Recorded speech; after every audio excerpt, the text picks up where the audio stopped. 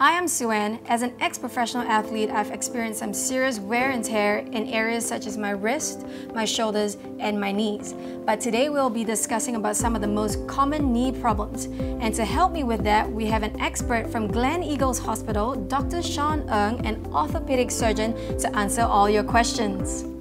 Okay, thank you, Dr. Ng, for being here. We really appreciate your time. You. Uh, let's kick off this discussion uh, about clicking and grinding of the knees, which okay. I find uh, happens to me personally very mm -hmm. often, but also to a lot of people. Yes. Now, my question to you is this going to lead to potential problems in the future, such as arthritis? Okay, clicking of the knees is actually a very common complaint, but what is more important if there's any associated pain within the knee if it's just normal clicking when you're walking, when you're bending, or when you're coming up from a squatting position, it's fine to just observe.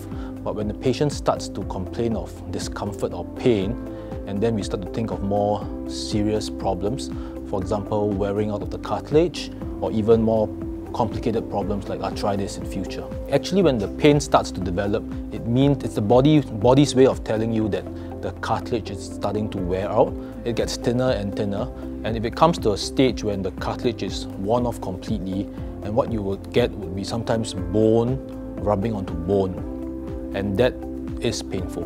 Okay. What are some of the most common knee injuries you see in a sports person, be it amateur or professional? There are many potential problems in the knee that can happen in the athlete.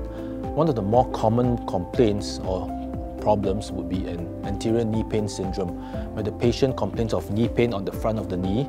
It's normally from an overuse problem. They tend to overwork their knees and they experience knee pain after that.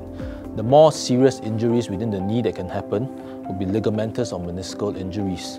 For example, in this model of the knee, over here, where the black line is, that's the anterior cruciate ligament. It's a career-ending injury for many athletes and it's the, the strongest ligament in, in the knee to support the knee. Other injuries would be the meniscus, which is this C-shaped ring here on the inside and on the outside of the knee. These are shock absorbers of the knee and they tend to get damaged too in injuries.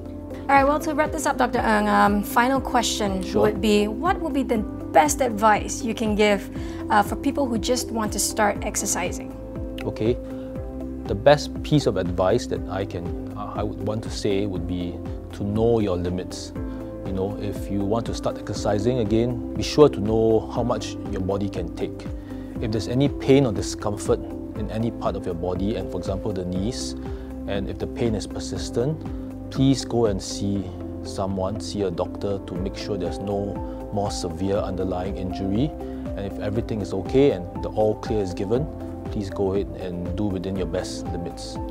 Well, thank you so much for being here. We really appreciate all the advice, so thank you so much. Thank you very much. Yes. I hope you picked up some helpful tips from Dr. Sean Ng. Watch out for more videos on sports health brought to you by Gleneagles Hospital.